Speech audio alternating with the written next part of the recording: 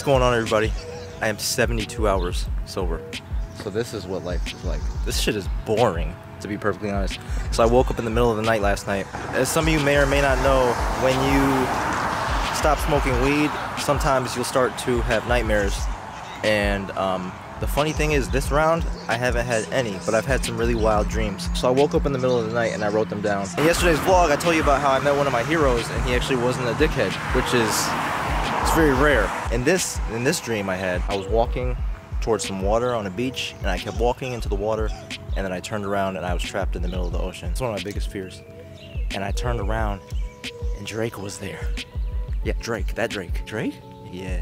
Drake, I think we're trapped in the middle of the ocean. Go word. Let me see what I can do. Champagne pop. Drake got out of the boat or whatever we were in and he walked on water to safety.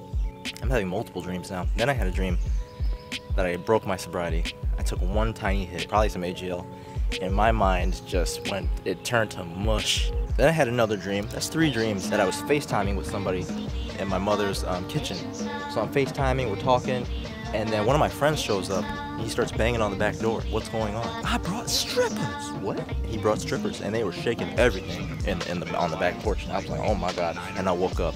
So let's check in later today and see what happens.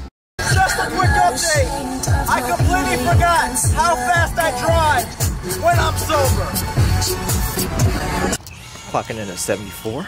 Still alive. Sober feet are very heavy. Very heavy. Uh, guys, my eyes are up here. Thanks. Uh, so I am ironically 86 hours sober right now. I know that's crazy. I think last year or the year before I might have hit 100. So that's 14 hours away. But I actually don't have the urge to smoke right now. I'm noticing things about myself. I'm learning things about myself. I'm finding out things that I would not have found out unless I was sober. In my experience personally, people who know you smoke weed and know you love to smoke weed, people in general who truly know you, they'll be able to hurt you. They'll be able to take advantage of you. Nipsey said, people learn you just to hurt you. That's true. That's the truth right there. There's a reason he's not here anymore. He was telling the truth. That's another story. So I feel like it's like my third eye is opening.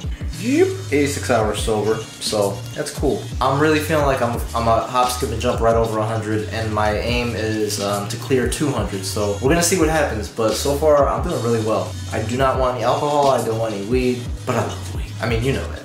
Anyway, we're gonna check in tomorrow and see how we're doing. But good night, everybody.